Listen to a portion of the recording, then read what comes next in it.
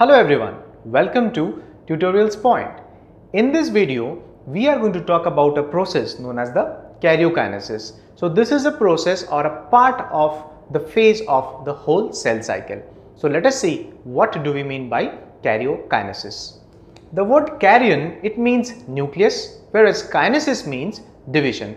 So this is the division of nucleus. This process of karyokinesis is also known as the indirect nuclear division. So here the nucleus divides. The nucleus or the parental nucleus divides into two daughter nuclei. So new daughter nuclei are formed because of the process of karyokinesis. This process of karyokinesis is a continuous process without any pauses in between the whole process.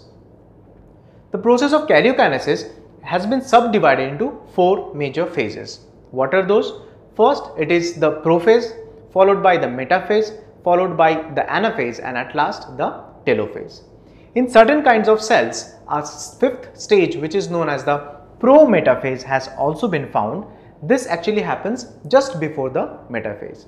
So in this video, we have introduced ourselves to the process of karyokinesis this is nothing but the nuclear division, division of nucleus into daughter nuclei.